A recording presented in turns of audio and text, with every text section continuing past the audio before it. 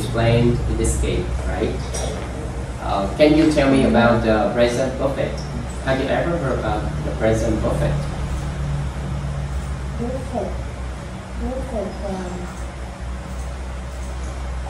nói tiếng việt được không Yes, okay. Can you? nghĩa là khi mình nói một cái một cái hành vi một cái hành động mà nói kéo dài trong một khoảng thời gian thì được dùng perfect That's right. Okay, so I clarify by English.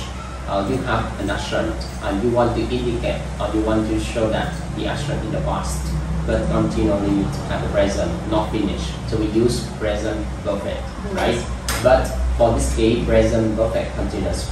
We emphasize the the action and no stop, right? Okay, that's it. Thank you so from much. the past Yes. now Yes. and uh, continue in the future No, not not in continuing future, just like in the past and continually at present. But, not finished. but not finished. Yeah, yeah, not finished.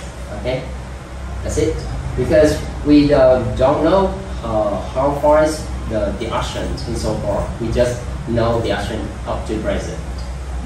Okay, up to present, up to present, uh, until now. Okay, to understand a little, right? Uh, I mean that the action in the past Yeah. Until now, Yes. until now, because we are not sure about the future. Yes. Okay, that's it. Yes. Okay. Next question. Look. Look, the bus is coming. Very good. Look, the bus is coming. Why you choose the letter B?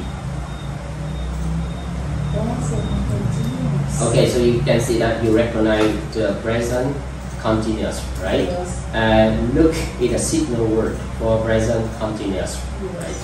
And the bus is the singular third person. Yes. So we use is, right? Okay, very good. Would you mind? Would you mind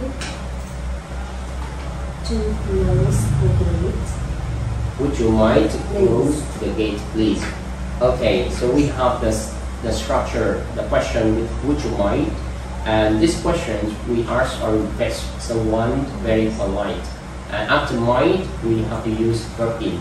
So the correct answer is would you mind closing the gate? Okay, um, I, okay. I don't know. Yeah. Choose to close Yeah. or close. Yeah, because this is the phrase To verb. or without to. Yeah, okay. This is we call that phrasal verb.